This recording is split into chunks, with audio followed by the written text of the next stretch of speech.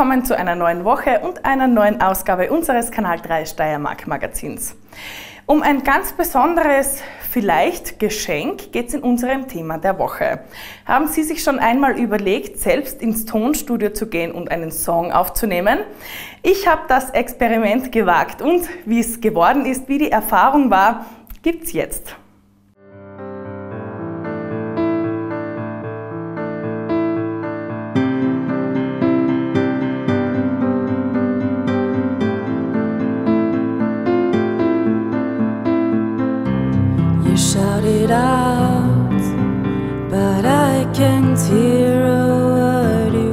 Vor kurzem war Valentinstag. Ein guter Anlass, dem Liebsten, der Liebsten etwas zu schenken. Aber was, wenn die Ideen fehlen? Haben Sie sich schon einmal überlegt, einen Song aufzunehmen und diesen dann vielleicht zu verschenken? Ich habe mir gedacht, wie funktioniert das eigentlich? Und aus diesem Grund sind wir heute in einem Tonstudio. Ich werde mir diesen Prozess für Sie heute ansehen. Sie dürfen gespannt sein, wie das funktioniert und was rauskommt.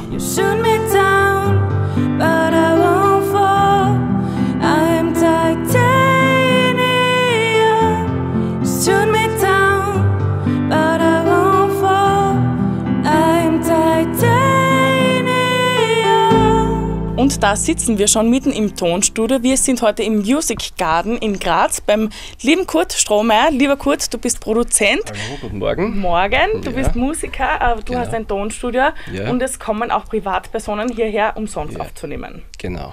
Wie richtig. funktioniert das? Wie funktioniert das? Also zuerst gibt es natürlich mal den ominösen Anruf, ja. Geht das überhaupt? Funktioniert das und so weiter?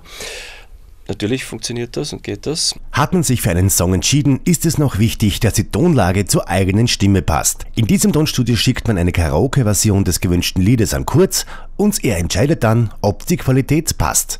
Dann wichtig natürlich, äh, Termin ausmachen, äh, ganz wichtig, einen Text mitbringen. Manche können den schon auswendig, weil sie haben das Lied schon ein paar tausendmal zu Hause gesungen, unter der Dusche oder wo auch immer. Und äh, das ist das Zweite, dass man dann den Text dabei hat und nicht sagt, ah, um Gottes Willen, jetzt habe ich den vergessen oder was, den kann man sich dann hin auf ein Notenpult hinlegen. Mhm. Äh, das wäre die zweite Sache. Die dritte Empfehlung von Kurt ist, dass man gerne jemanden ins Studio mitbringen kann. Zur geistigen Unterstützung sozusagen. Um hier einen Song aufzunehmen, muss man kein Profisänger sein. In erster Linie stehen die Erfahrung und der Spaß im Vordergrund. Es gibt manche, die sind wirklich extrem begabt und da merkt man schon, die, haben, die sind auch musikalisch, haben schon scheinbar was damit zu tun gehabt. Und dann gibt es halt manche, die sind das weniger, die haben einfach nur das im Kopf und wollen, wollen das einfach einmal ausprobieren. Das ist vielleicht auch mal lustig. Äh, Habe ich auch. Also so, die sagen, ich wollte mal wissen, wie das so ist in einem weil ich bin nur Konsument, ja, ich höre Musik, aber ich habe keine Ahnung, wie wird sowas gemacht, wie wird das produziert. Äh, die kommen auch auf, oft aus dem Aspekt, dass sie sagen, ich möchte mir das einmal anschauen, mhm. wie funktioniert das wirklich in der Realität. Ja, also das ist so der, der Punkt dabei. Mhm. Und anschauen werde ich mir das Ganze heute auch. Der Kurt hat meine Karaoke-Version, ähm, den Track dazu. Äh, ich habe meine Lyrics mit und dann würde ich sagen, auf geht's. Sonnenbrille auf und ab ins Café, wo ich die schönen Frauen auf der Straße sehe. Dann Sprung mitten rein in den kalten Pool und ein Caipirinha, ziemlich cool. Sonnenlicht auf und ab zur Liegewiese, wo ich für mich und Chrissy eine Liege ließe. Lassen uns gehen und wir lassen uns braten, alles andere kann eine Weile warten. Und wenn nichts draus wird wegen 7 Grad, dann kippen wir zu Hause zwei Säcke Sand ins Bad. Im Radio spielen sie den Sommerhit, wir singen in der Badewanne mit. Jetzt ist Sommer, egal ob man schwitzt oder friert. Sommer ist, was in deinem Kopf passiert. Jetzt ist Sommer, ich hab das klar gemacht. Sommer ist, wenn man trotzdem lacht. Jetzt ist Sommer, egal ob man schwitzt oder friert. Sommer ist, was in deinem Kopf passiert. So, die Spuren sind jetzt eingesungen und ähm, jetzt ist die Bearbeitung abgeschlossen. Na, lieber Kurt, was hast du da jetzt noch mit diesem Song gemacht? Du warst ja sehr, wie soll ich sagen, sehr brav beim Einsingen. Das ist relativ flott gegangen. Äh, ich habe nicht allzu viel machen müssen. Also wie gesagt, ich habe ja schon erzählt, manchmal muss man dann fünf, sechs Spuren aufnehmen, die man dann zusammenschneidet. In dem Fall war es eigentlich nicht notwendig. Ja. Du bist auch rhythmisch sehr gut, das ist auch nicht jeder. Ja. Also der, es war auch sehr viel Text in dem Fall. Und, und, aber wie gesagt, also ich habe dann im Nachhinein einfach noch ein bisschen eine Bearbeitung gemacht bei der Stimme das stelle ich dann nach meinem Ermessen natürlich ein, wenn ich sage, das sind vielleicht zu wenig Höhen oder dort sind ein paar Bässe zu viel oder was. Das wird dann gefiltert, also mit einem IQ. Dann tue ich es noch ein bisschen komprimieren, die Stimme. Tue noch ein bisschen einen Effekt drauf, einen Hall ein, vielleicht ein Delay oder so. Versuche es zum Playback dazu zu mischen, damit es ein bisschen eine Einheit ist. Ja. Viel mehr ist es nicht, dann tut man das Playback zusammen mit der Stimme ein bisschen mastern, sprich, ähm, dass das äh, Paket wird ein ordentliches. Mhm. Und das ist es dann schon. Das war also unser Tag im Tonstudio. Mir hat es wirklich riesen Spaß gemacht und falls ihr euch das auch überlegt, kann ich es nur empfehlen. Ich bekomme jetzt meinen Song oder meine Songs. Deine Songs mhm. auf CD. Bitteschön. Vielen Viel Dank. Viel Spaß damit. Dankeschön. Ich hoffe, das ähm, Ergebnis erfreut dich. Mehr oder weniger. andere, die, die zuhören. Lieber Kurt, wie war es für dich ganz kurz? Ja, war spannend, aufregend. Ist immer ein neu, eine neue Situation natürlich bei jedem, der kommt. Ist immer anders, aber war sehr lustig. Mhm. Für mich war es auch sehr lustig. Ähm, das Erlebnis kann ich wirklich sehr empfehlen. Und Sie sind sicher gespannt aufs Endergebnis. Das sehen Sie jetzt. Wir singen in der Badewanne mit. Jetzt ist Sommer, egal ob man schwitzt oder friert. Sommer ist, was in deinem Kopf passiert. Jetzt ist Sommer, ich hab das klar gemacht. Sommer ist, wenn man trotzdem lacht. Jetzt ist Sommer, egal ob man schwitzt oder friert. Sommer ist, was in deinem Kopf passiert. Jetzt ist Sommer, ich hab das klar gemacht. Sommer ist, wenn man trotzdem. Weiter geht's jetzt mit einem ernsten Thema. Und zwar geht es um die Suizidprävention. Suizidgedanken, die entstehen nämlich meistens in Situationen, wenn man sehr erschüttert ist, wenn man betroffen ist, wenn es einem wirklich schlecht geht. In der Steiermark gibt es ein umfangreiches Hilfsangebot bei seelischen Krisen und eine wichtige Anlaufstelle dabei ist das Go-On-Kompetenzzentrum für Suizidprävention. Weltweit stirbt alle 40 Sekunden ein Mensch durch Selbsttötung. In Österreich haben im Jahr 2019 über 1100 Menschen ihr Leben durch Suizid verloren. Davon rund 200 in der Steiermark.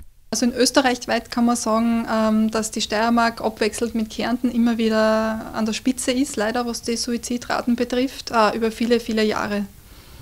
Und ja, innerhalb von der Steiermark ähm, sind im Murau und Murtal die am meisten betroffenen Regionen.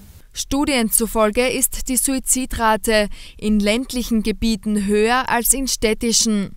Es gibt eben Hinweise darauf, dass äh, dort, wo die beruflichen Möglichkeiten größer sind, wo allgemein ähm, vielleicht die Verdienstmöglichkeiten höher sind, ähm, die Suizidraten geringer sind. Und äh, es dürfte auch eine Rolle spielen, äh, wo man leichter Hilfe kriegt. Also dass es bei uns in den ländlichen Regionen für, viel, äh, für lange Zeiten schwieriger war, jetzt zum Beispiel psychologische Unterstützung in Anspruch zu nehmen und das sicher auch jetzt noch eine größere Hürde ist als in der Stadt, wo man einfach leichter anonymer mal hingehen kann, wohin gehen kann und sich Unterstützung holen. Statistiken zeigen, dass sich Männer viermal häufiger das Leben nehmen als Frauen. Vor allem betroffen sind Männer in der Altersgruppe 75 plus. Ähm, man weiß auch, dass das leider äh, die Menschen sind, die man allgemein schwerer erreicht, wenn es um Unterstützung und Hilfe geht. Also sind, äh, Männer gehen auch seltener zum Hausarzt zum Beispiel und holen sich auch seltener, seltener Hilfe für körperliche Schwierigkeiten. Und Männer holen sich ja natürlich seltener Hilfe, was, was seelische Themen betrifft. Unterschiedlichste Lebenskrisen können Auslöser für Suizidgedanken sein beispielsweise finanzielle Schwierigkeiten, Arbeitslosigkeit oder Probleme in der Partnerschaft. Wobei man eben sagen muss, ähm, dass Suizidgedanken grundsätzlich ja ganz was Normales sind. Also man weiß, dass bis zu 80 Prozent der Menschen im Leben einmal Suizidgedanken haben, einmal drüber nachdenken ähm, oder sich denken, wow, ich weiß nicht mehr, wie ich weitermachen soll. Ähm, das Umsetzen tun Gott sei Dank nur sehr wenige davon im Vergleich. Wenn es einem nicht gut geht, die Situation aussichtslos scheint, man überfordert oder verzweifelt ist, sollte man in dieser schweren Zeit nicht allein sein und in jedem Fall Hilfe in Anspruch nehmen. Also es gibt telefonische Hilfe, es gibt unter 142 die Telefonseelsorge, ganz eine tolle Einrichtung, äh, die man wirklich rund um die Uhr kontaktieren kann, also nachts und am Wochenende, weil wir wissen, dass Krisen jetzt nicht nur zu Bürozeiten auftreten, sondern auch zu Zeiten, wo man eben das Gefühl hat, so, wen, wen kann, kann jetzt anrufen. Ähm, es gibt Gott sei Dank sehr viele, sehr tolle kostenlose Angebote. Also es gibt Beratungsstellen in der ganzen Steiermark, äh, die sind unter plattformpsyche.at zu finden in, in der jeweiligen Region. Es gibt auch niedergelassene Psychologen und Psychiater, wo man sich hinwenden kann. Und es gibt auch wirklich im Notfall die Möglichkeit, äh, ins äh, Krankenhaus in Graz auf die psychiatrische Klinik zu gehen. Ähm, da kann ich nur sagen, sich bitte nicht davor fürchten, dort sind auch Menschen, die, einen unterstützen und dann helfen. Wenn man sich um jemanden Sorgen macht, sich diese Person verändert hat, sich zurückzieht oder Dinge verschenkt, ist das Allerwichtigste nachzufragen. Denn schon allein das Gespräch kann sehr entlastend für die betroffene Person sein. Die gesetzliche Unfallversicherung, die bietet Schutz vor den Folgen von Arbeitsunfällen und Berufskrankheiten.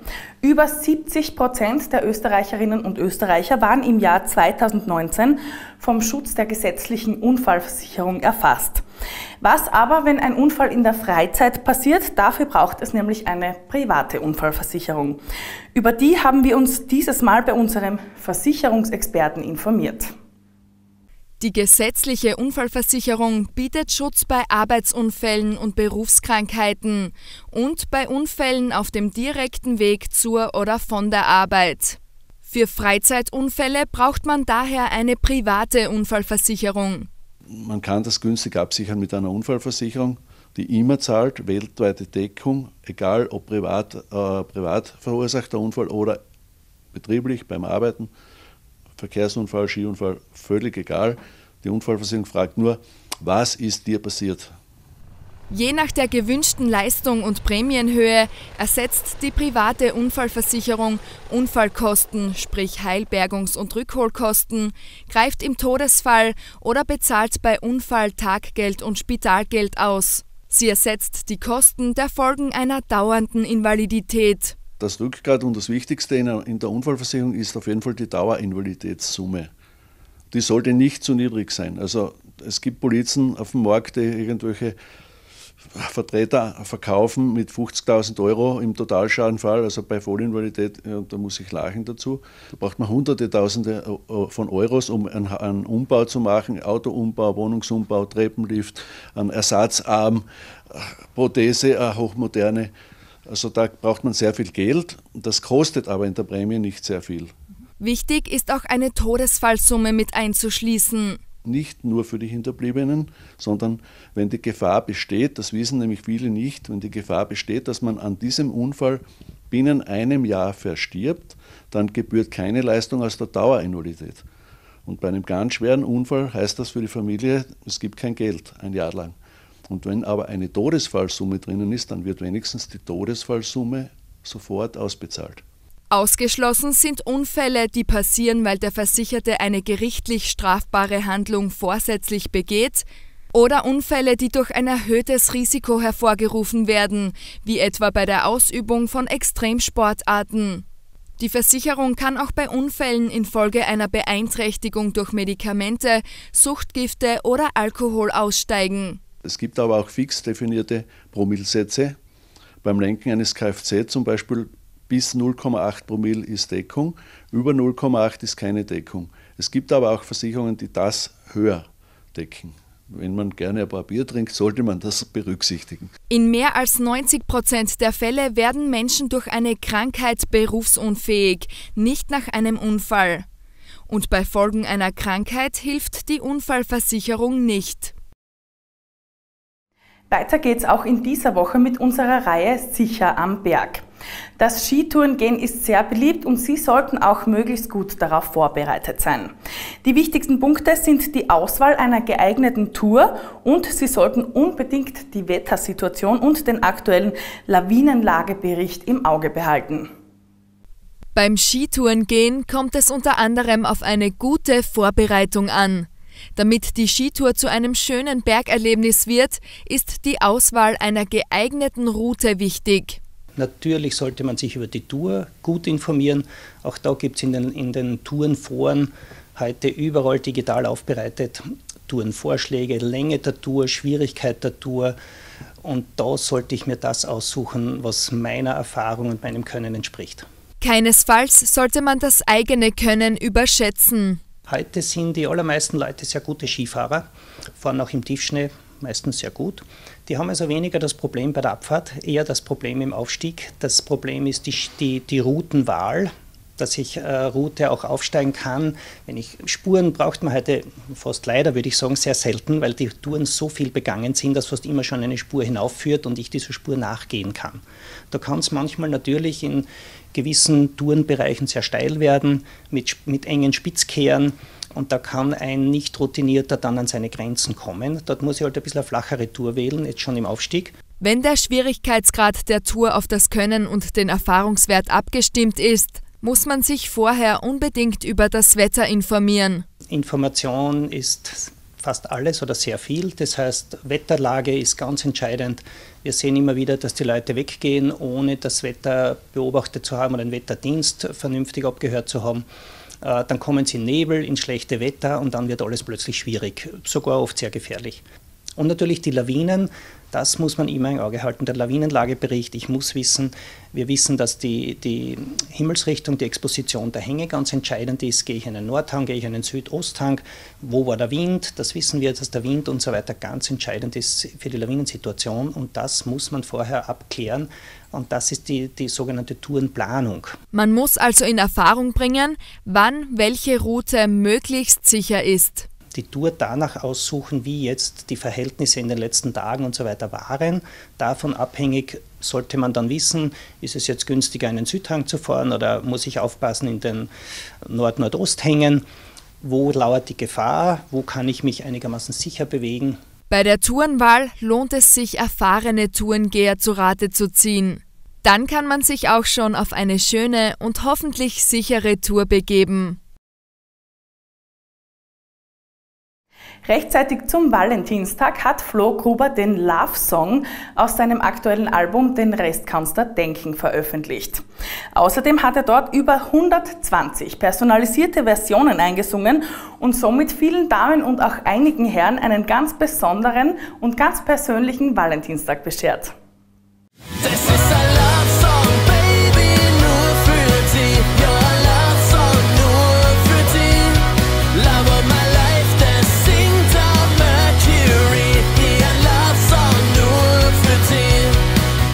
Mit seinem neuen Love-Song lässt der junge Musiker Flo Gruber so manches Frauenherz höher schlagen. Passend zum Valentinstag hat er sein neues Lied herausgebracht und sich dabei auch noch was ganz Besonderes überlegt. Ich habe mir gedacht, ich greife den Leideln heuer beim Besorgen der Valentinstagsgeschenke ein bisschen unter die Arme und mache personalisierte Versionen von meinem Love-Song. Immer wenn ich so eine Idee habe, ist der erste Weg zu meinem Papa, weil der mir dort immer guten Input bringt und wenn ich von ihm grünes Licht kriege, dann weiß ich, die Idee ist in Ordnung und ich kann damit durchstarten. Ich habe dann auf Social Media, also auf Facebook und Instagram, dazu aufgerufen, dass man die Leute die Vornamen von ihren Liebsten schicken. Und irgendwie ist es dann ein bisschen explodiert und es sind insgesamt über 120 Vornamen zusammengekommen. Also gefühlt alle Vornamen, die es gibt. Ich habe dann meinen Produzenten kontaktiert und einen Termin ausgemacht zum Einsingen und habe dann wirklich zwei Tage im Studio verbracht mit dem Personalisieren des Love Songs. Und so gibt es den Love Song nicht nur für die, sondern für alle Herzdamen da draußen.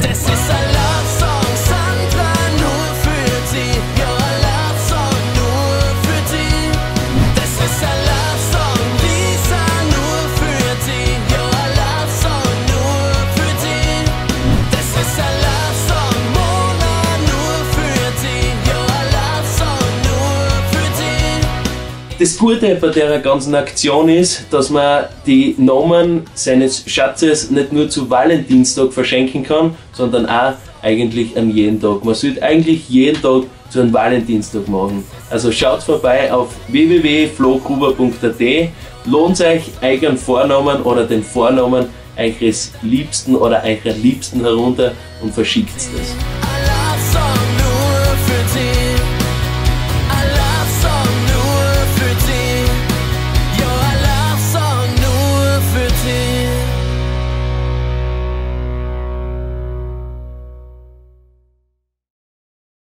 Für unser Interview der Woche haben wir uns mit einem Geschäftsmann aus St. Georgen ob Judenburg getroffen. Er betreibt ein Nahversorgergeschäft, er hat einen Gastronomiebetrieb und er stellt auch noch selbst Eis her. Walter Egadner.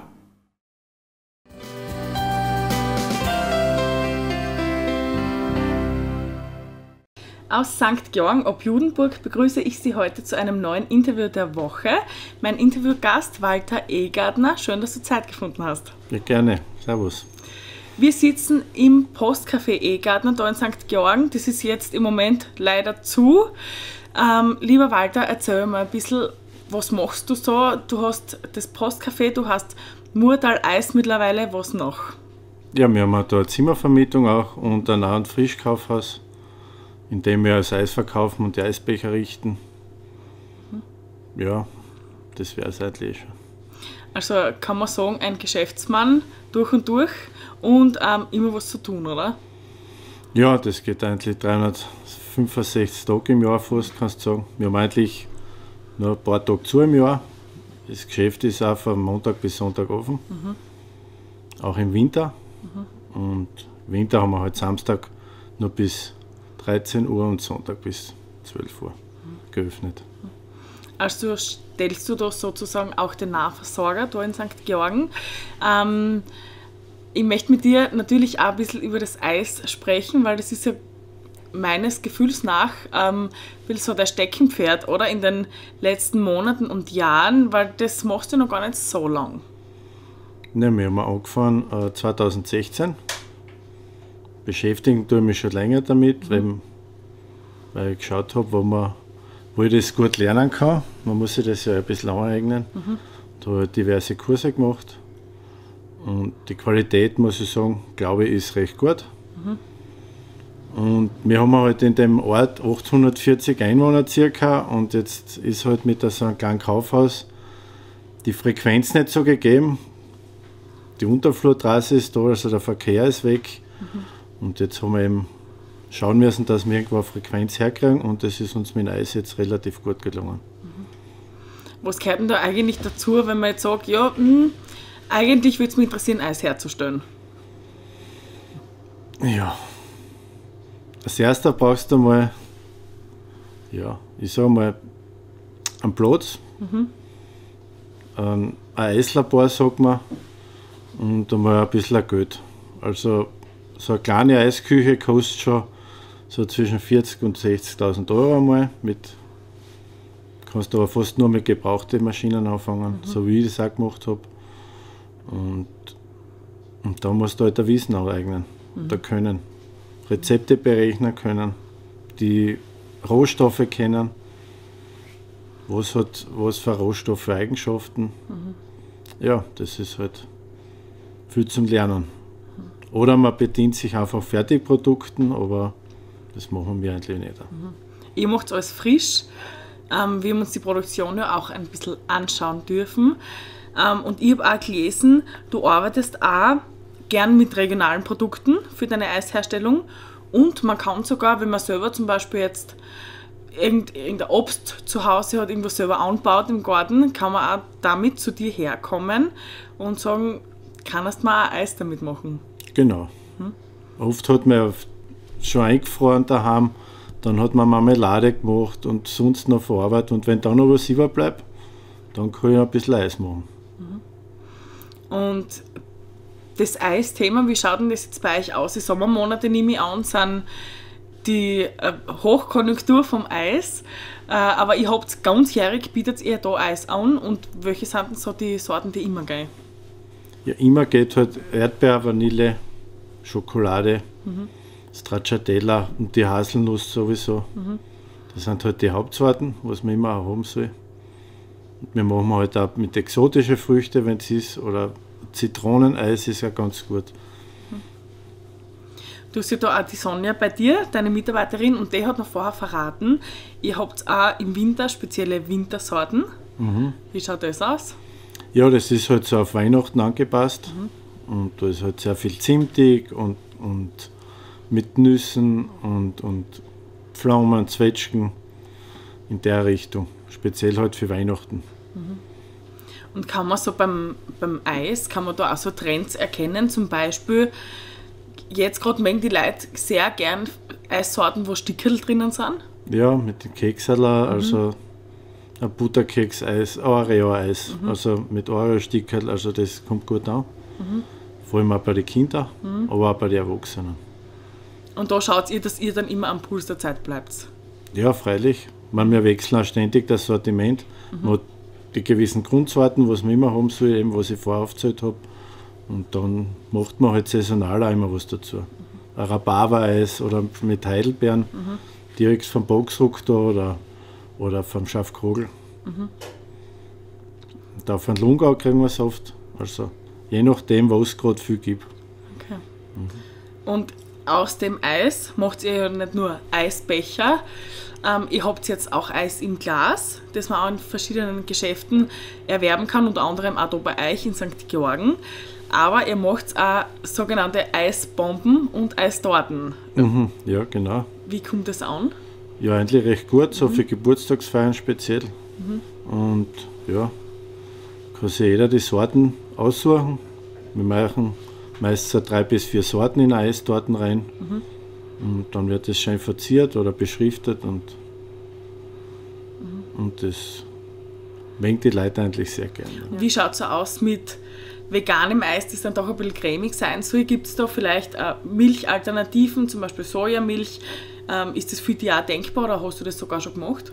Ja, ist auch kein Problem. Mhm. Also kann man alles. Man muss halt sich mit Rezepten beschäftigen mhm. und das berechnen und man kann fast das alles Eis machen. Mhm. Ähm, ich habe es ganz am Anfang schon erwähnt, wir sitzen da eigentlich im Postcafé. Ähm, wie waren denn da jetzt die letzten Monate für dich? Wie geht es dir, dass du da jetzt eigentlich nicht aufsperren kannst? Naja, es ist halt nicht so lustig, weil jetzt haben wir dann schon das, das vierte Monat bald zu. Mhm. Und voriges Jahr waren wir auch zwei Monate komplett. Das sind auch die Geschäfte oder die Lokale, wo sie beliefert, die haben ja auch zu. Mhm. Und da fehlt halt schon einiges. Und man weiß eben nicht, wie es weitergehen wird. Wird wieder aufgesperrt, wie lang. Mhm. Und wir hoffen halt am Sommer. Mit, der, mit der Eisproduktion und dass wir uns da über Wasser halten. Wir haben ja Gott sei Dank noch das, das Geschäft dabei, das ist ein Lebensmittelhandel. Da sind halt die Spauner nicht gar so groß. Jetzt ist das halt gerade zum Überleben wird schon rein, aber es gibt sicher andere, wo es noch schlechter geht. Mhm. Und vielleicht auch deswegen bist du jetzt umso mehr froh, dass du das Steckenpferd Eis auch entwickelt hast, oder? Ja, freilich. Ich meine, das war auch nicht ohne Grund, das war durch die Situation in mhm. so einem kleinen Ort. Und wie man sieht, braucht man nicht nur ein oder zwei Standbeine, sondern so viel wie möglich. Mhm jetzt, um von dem ernsteren Thema vielleicht wieder ein bisschen lustiger zu werden. Ähm, du persönlich, ich habe die vorher hinter der Kamera schon gefragt, ähm, wenn man fast jeden Tag Eis herstellt, wenn man so viel Eis zur Verfügung hat, ähm, mag man es dann selber eigentlich noch? Also ja, sehr gern sogar. Mhm. Und man muss ja ständig Qualitätskontrolle machen, also ja. kommt man so nicht aus, dass man Eis isst. Mhm. Aber speziell im Sommer nach einem langen Tag, also auf der Couch noch und so ein Eisbecher noch, ist schon, mhm. ist schon, das hebt die Stimmung noch nochmal. Hebt auch die Stimmung, ähm, dass die Resonanz so gut ist, dass die Leute Eis so gern essen? Naja, freilich. Mhm. Also, wenn irgendwas erfolgreich ist, ist immer, ist immer gut. Mhm. Mit dem Murtal-Eis wird es auf jeden Fall noch weitergehen. Ich bin gespannt, was noch kommt.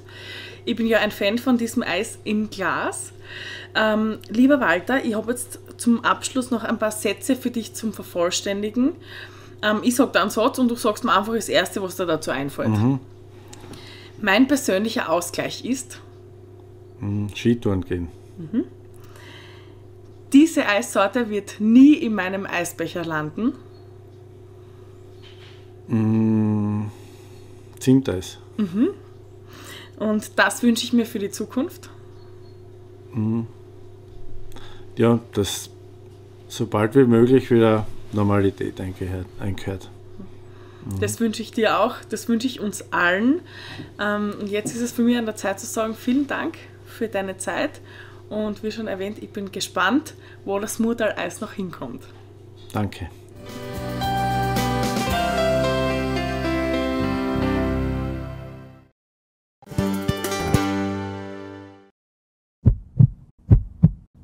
Gesunder Blutdruck?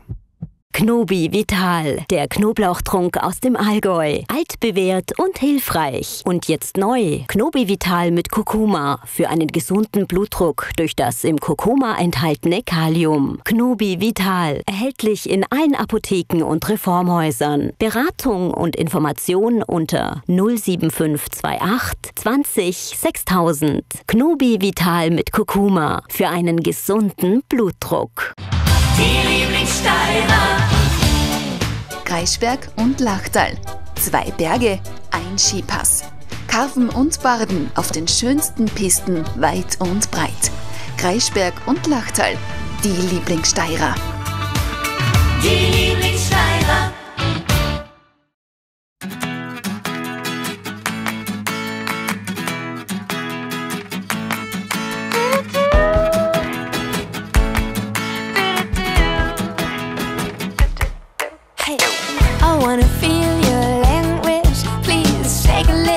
Bit with me. Whoa, oh, oh, oh, I know how to wave my hands and my feet. Your heart. Hier bildet sich mehr als nur Wissen. BFI. Bildung, Freude inklusive. Die Lieblingssteirer. Die Lieblingssteirer.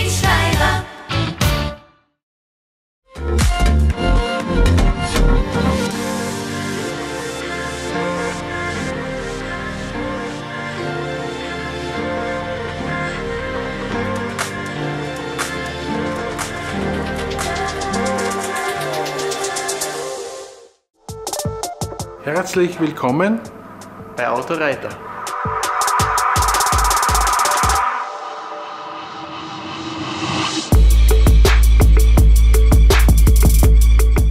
Unsere Werkstätte für alle Marken. Wir sprenkeln und lackieren in Top-Qualität.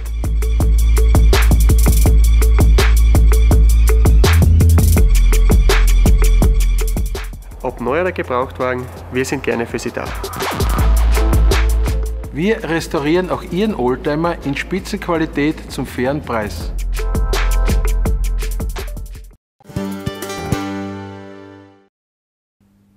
Wenn es die aktuellen Umstände denn zulassen, welche sind denn Ihre liebsten Ausflugsziele? Wir haben diese Frage für unser Spontan der Woche auch gestellt. Das ist zwar schon einige Zeit her, aber vielleicht bekommen Sie ja ein bisschen Inspiration. Spontan. Spontan. Spontan. Spontan. Spontan. Spontan. Spontan. Spontan. Spontan natürlich.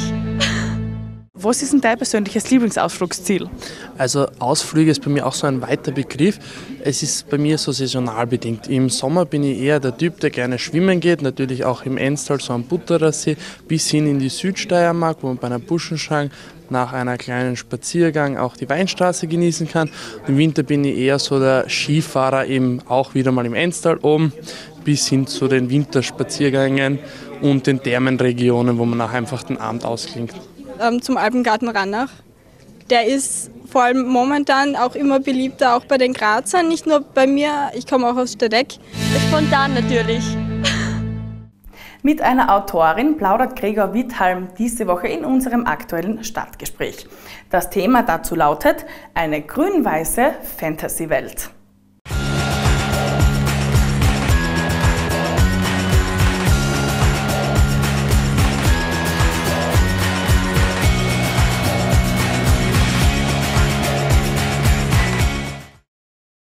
Da sind Sie, da bin ich. Hallo, meine Damen und Herren. Ich freue mich sehr, dass Sie wieder sich die Zeit nehmen, ein bisschen reinschauen bei uns ins Stadtgespräch. Sie sehen es am Ambiente.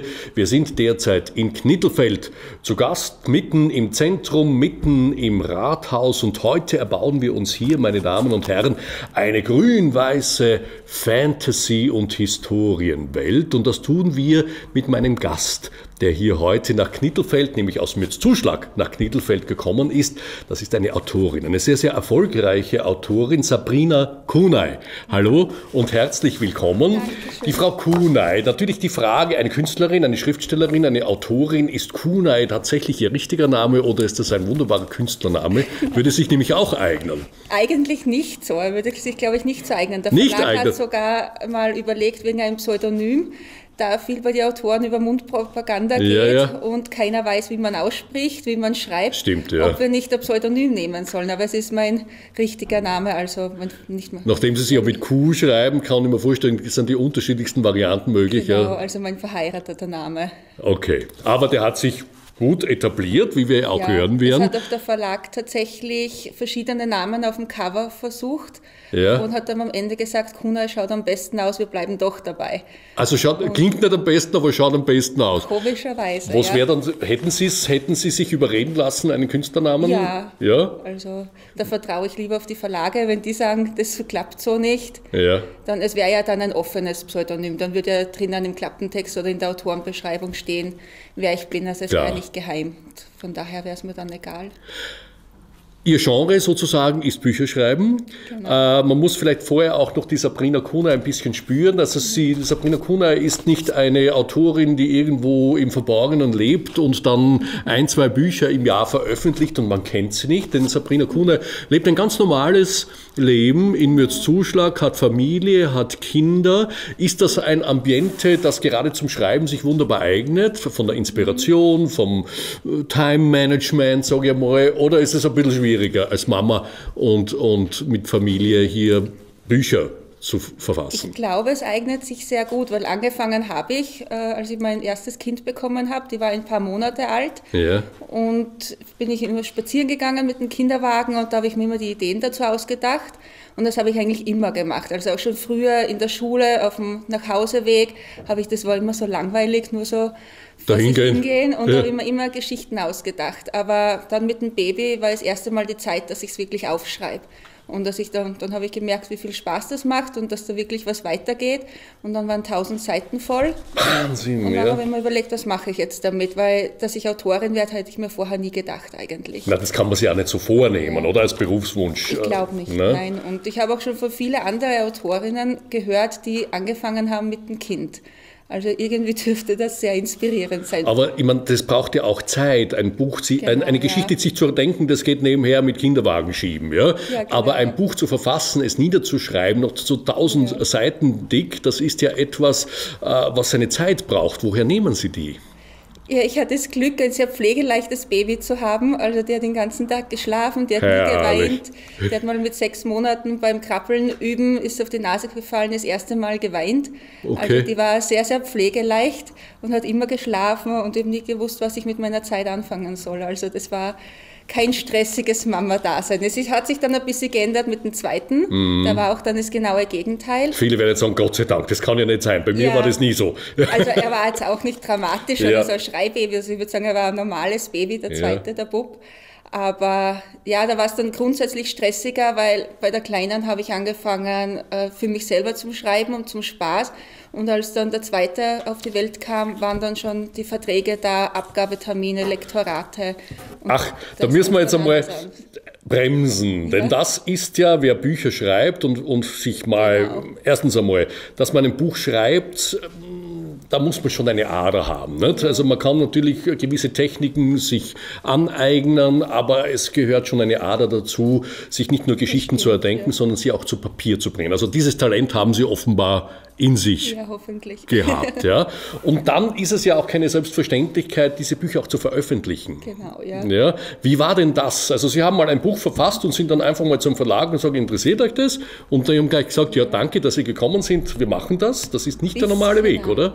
Na, es war, ich habe mich zuerst einmal informiert, welche Fehler man nicht begehen darf. Es gibt ja auch die ganzen Bezahlverlage, auf die leider sehr viele reinfallen Ja. und sagen, ja, zahlen Sie uns 5000 Euro und es wird dann Der Rest. Bestseller. Ja, ja.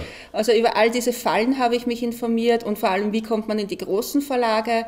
Und weil, wenn ich es mir dann in den Kopf gesetzt habe, dann bin ich ehrgeizig und dann dachte ich mir, das wäre der perfekte Beruf, gerade wenn die Kinder dann äh, größer, wenn die Karenz aus ist. Und in meinen vorigen Job konnte ich auch nicht zurück, weil da ist die Firma umgesiedelt. Mhm. Dann dachte ich mir, das wäre ja super, wenn ich davon dann weiterleben könnte. Und ich habe mich dann informiert, dass man eigentlich über Literaturagenturen nur mehr in die großen Verlage kommt. Aha. Und die vertreten den Autor und es ist eigentlich gang und gäbe, dass man das an eine Agentur schickt. Die haben dann die Vorauswahl quasi Mhm. und die sind dann in enger Zusammenarbeit mit den Verlagen. Und das war bei Ihnen, Sie haben das so gemacht, Genau, ich habe mir angeschaut, äh, meine Lieblingsautoren im deutschsprachigen Bereich, von welchen Agenturen werden die vertreten. Und da habe ich mir eine Agentur, die sehr sympathisch geklungen hat, rausgesucht, angeschrieben. Man schickt dann nur so eine Leseprobe von Ja. 20 Seiten und so ein Exposé, also eine Mhm. Zusammenfassung. Und war dann auch so in verschiedenen Foren aktiv und überall kam nur, na, man kriegt dann nur eine Standardabsage.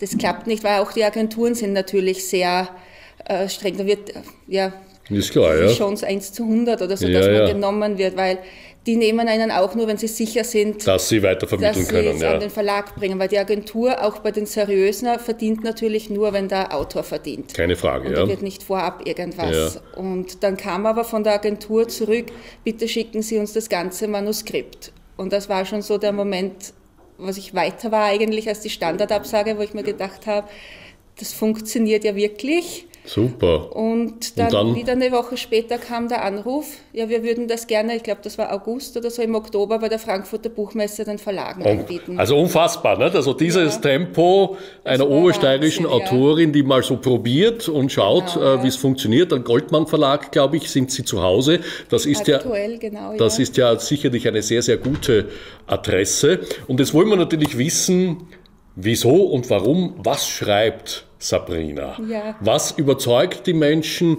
Was hat die Agentur, was hat den Verlag letztlich überzeugt? Wir haben schon ein bisschen eingeleitet, wir wollen eine Fantasy-Welt erbauen. Genau. Also Sie schreiben ja nicht nur Fantasy oder haben Fantasy-Geschichten geschrieben, sondern auch historische Romane. Genau. Aber dröseln wir mal auseinander. Ich glaube, begonnen haben Sie mit Fantasy-Geschichten. Genau, das war so ein High Fantasy, 1000 Seiten, also so wie Herr der Ringe, nur romantischer.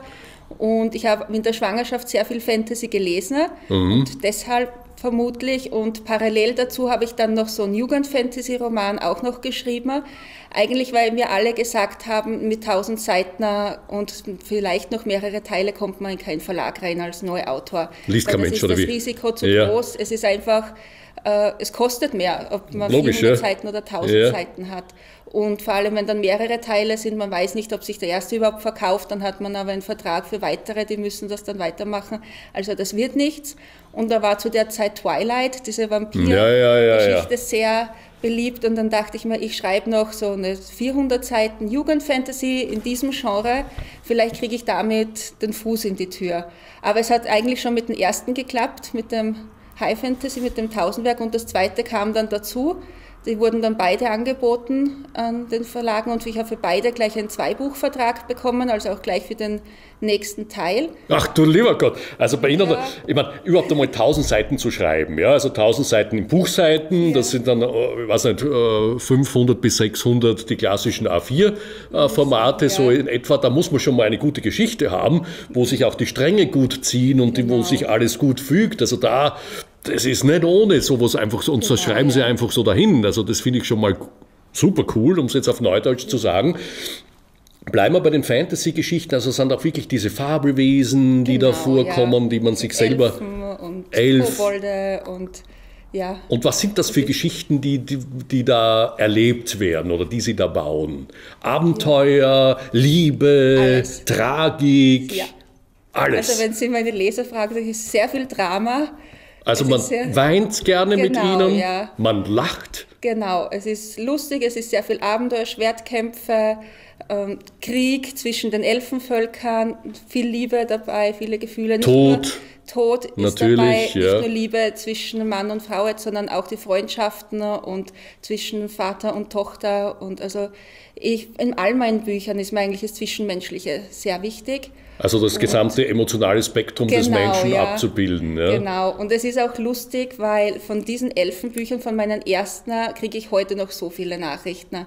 Also die sind eigentlich im Print gar nicht mehr erhältlich, nur mehr als E-Book, da habe ich die Rechte jetzt schon zurückbekommen. Okay. Aber die werden immer noch gelesen und von denen kriege ich die meisten. Und sind das jetzt ja. Geschichten also immer mit denselben Akteuren oder schreiben Sie immer neue Geschichten mit neuen Akteuren, neuen Elfen, neuen Kobolden? Also die Elfenreihe, die sind drei Teile.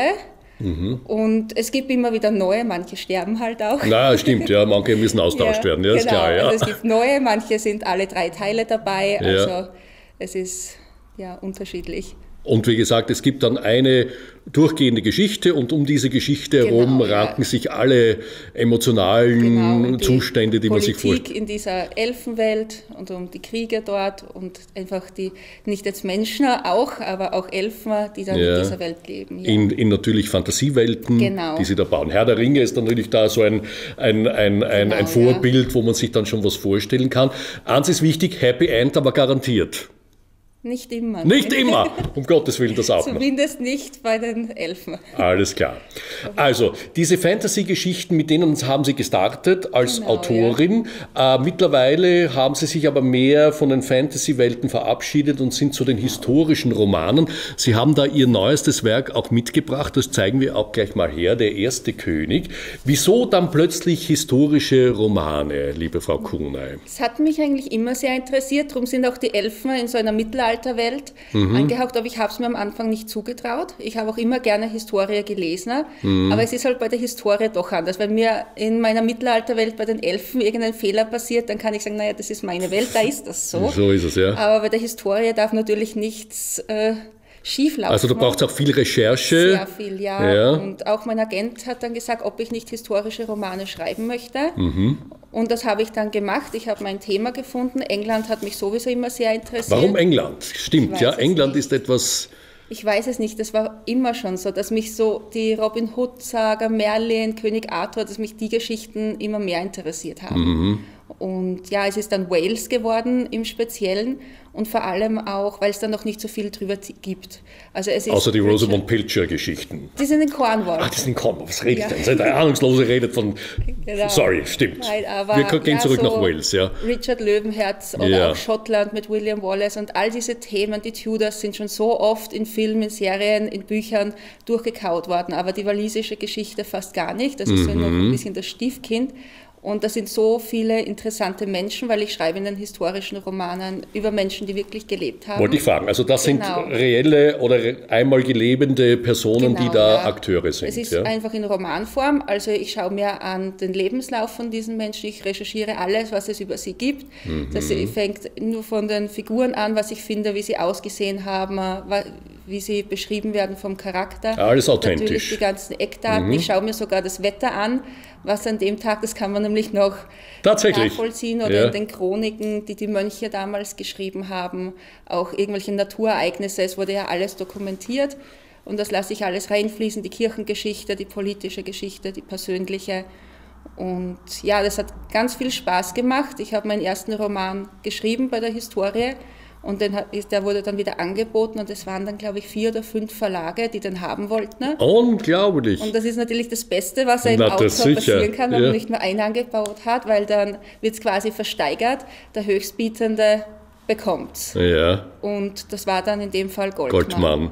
Das ist eine renommierte Adresse, wie gesagt. Äh, Die Geschichten, also die, die, die, die Akteure sind authentisch. Genau, die Geschichten sind Fantasie oder also die, ist- die, die Sie da bauen? Ich, nein, ich halte mich ganz genau an das, wie das passiert ist. Es ist natürlich die Gefühle, ob der jetzt so empfunden Na hat, klar. dann meine eigene Interpretation. Ich schaue mir so viel an wie möglich und schaue mir einfach, welches Bild ergibt sich für mich und wie ist das logische Bild für mich. Es ist ja auch zum Beispiel in den Kriegen, zum Beispiel zwischen Wales und England, Mhm. die englische Seite hat das so dokumentiert und die walisische Seite hat das so dokumentiert. Mhm. Das stimmt ja nicht immer überein, was der eine Na über den klar, anderen ja. sagt. Und man schaut dann auch, ob andere Länder darüber geschrieben haben und ob man so ein authentisches Bild findet. Aber natürlich muss ein bisschen die Duftnote, sage ich mal, der Sabrina Kunay natürlich Genau. drinnen sein. Das erwarten ja auch ihre Leserinnen und Leser. Und es muss natürlich der Platz sein für den Leser, der seine Geschichte um diese Geschichte baut und seine Bilder. Es soll ein Roman sein und Eben. kein Sachbuch. Und es ist auch sehr schwer,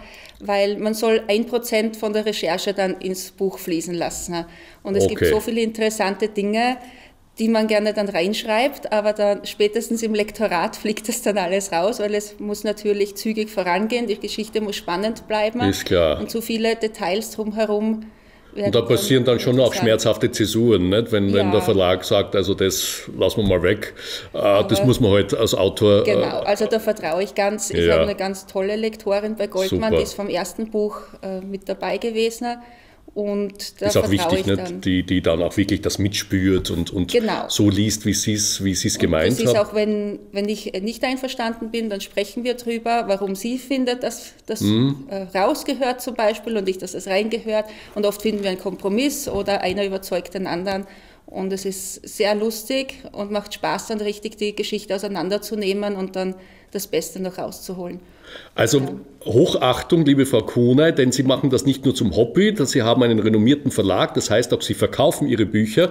Ich glaube, Sie haben wirklich schon Hunderttausende verkauft, das kann man schon mit Fug und Recht sagen. Also auf Harry Potters Spuren möchte Ja, ich ja. fast sagen, ja, nein, nein, nein, da wollen wir es nicht kleinreden, aber aus der Steiermark, eine Autorin.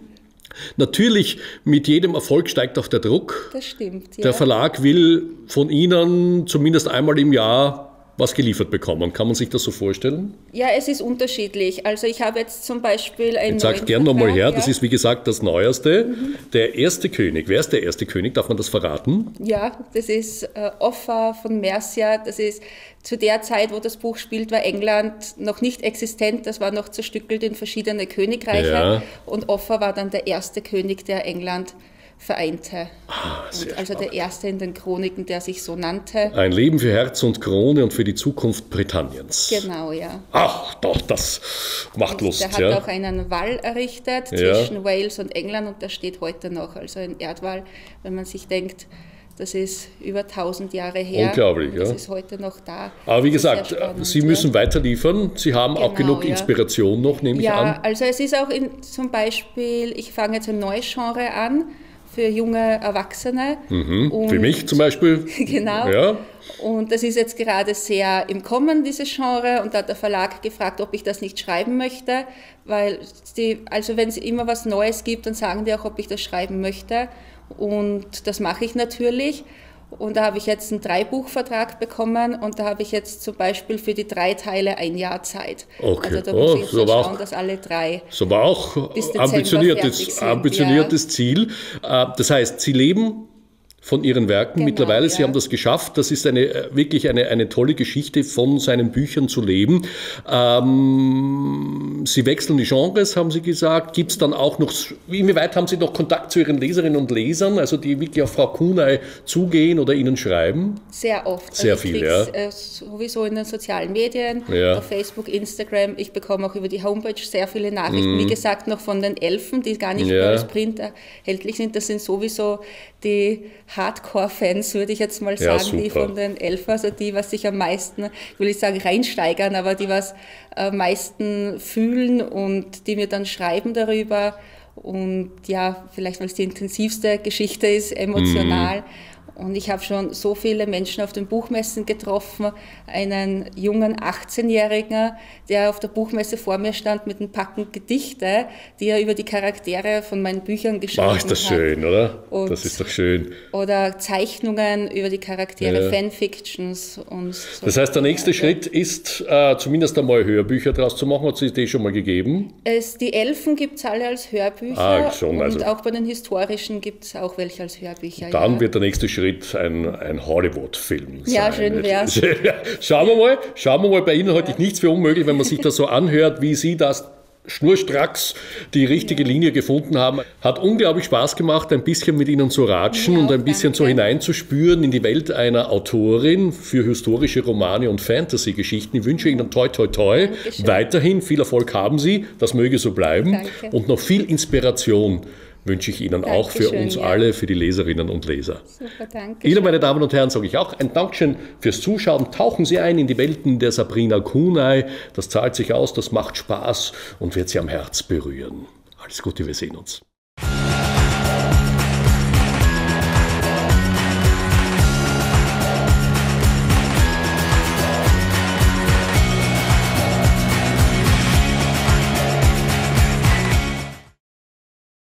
Wir kommen jetzt zu unseren Kurznews aus der Steiermark. Die folgenden Kurznews widmet Ihnen die Firma Swidelski, Bauleitung Murtal. Alles außergewöhnlich. Das ist das Image der Montanuniversität Leoben mit ihrer neuen Informationskampagne Zukunft im Blick, Job in der Hand. Unter dem Hashtag Gute Aussichten geht die Uni in die Offensive. Nachhaltigkeit, Umweltschutz und hohe Jobsicherheit sind für junge Menschen die besten Argumente für ein Studium in Leoben. Das Next Liberty Jugendtheater bietet Stückstreamings mit einem digitalen theaterpädagogischen Workshop für Schulen an. Wir sind am Ende unseres Steiermark-Magazins angelangt. Alle Sendungen und alle Berichte zum Nachansehen gibt's auf unserer Homepage kanal3.tv und wie immer freuen wir uns, wenn Sie uns folgen auf YouTube, Facebook und Instagram. Ich wünsche Ihnen eine wunderschöne und vor allem sichere Woche. Bleiben Sie gesund. Bis zum nächsten Mal.